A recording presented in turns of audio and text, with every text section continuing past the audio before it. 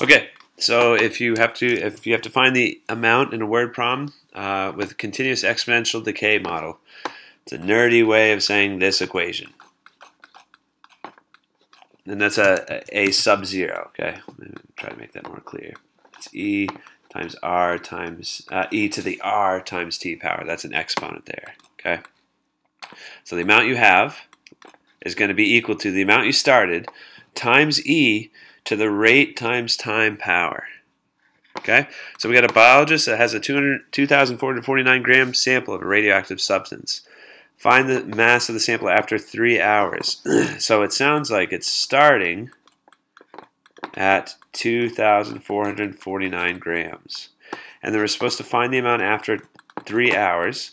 And notice time doesn't have to be a certain uh, measurement. It doesn't have to be in years or months or anything like that. We're just going to remember our answers in terms of hours. So after three hours, if it decreases according to a continuous exponential decay model at a rate of 8% per hour. Okay, exponential decay though. Uh, we're going to need a negative sign on this. Okay, um, because if you check out maybe it'll help to look at the graph. So e to the first power, make an equation, y equals, actually let's keep it a variable. y equals e to the x, y e, that's, a, that's an exponential growth model, right? It's going up over time. And if you do y equals e to the negative x, that's a better measurement of decay. That's showing something declining over time, going down over time. So that's why I had to add that extra negative sign. So watch out for your problem. Your problem on ALEKS might be positive or it might be negative. Okay.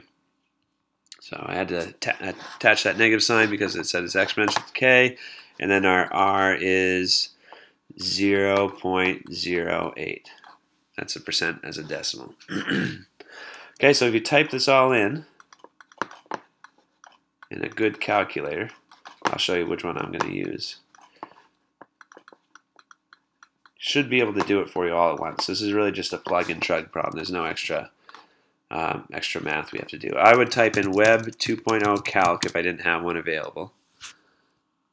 Okay, it's a nice free calculator online. It's easy to type in 2449 times E. I don't think you need the time symbol. Raise it to a power and then keep it in parentheses negative 0 0.08 times 3. So we got, um, it started with 2,449.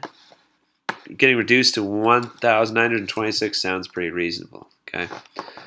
Uh, and so to compute the answer to the nearest tenth, I'm going to round that 4 up to a 5.